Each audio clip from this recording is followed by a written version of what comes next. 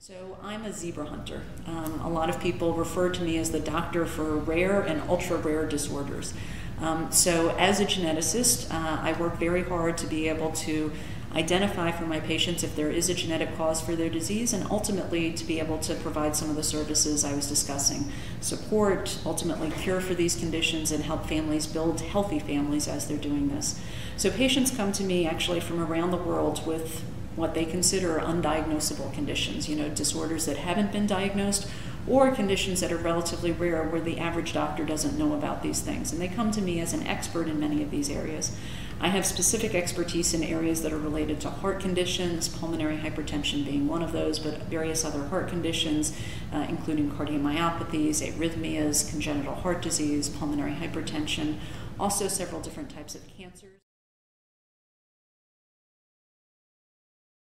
Also, a lot of families come to me with children with unusual disorders. As a pediatric geneticist, um, many families come to me because their child has either some form of neurological problem, intellectual disabilities, developmental delays, uh, but also just something that people can't figure out, can't seem to understand. Um, as we do that, one of the things that's been very rewarding is to realize that in many of those cases, they are very rare disorders, but to be able to then establish the patient community to be able to aggregate our collective knowledge around that. And so I've actually been the leader, or what they call the principal investigator, for many studies of these rare disorders where we've been able to, in some cases, have bring families into clinical research centers where we can do very detailed analysis to try and understand what are the multiple dimensions to this, um, understanding the natural history about how this changes over time to be able to give parents information ahead of time.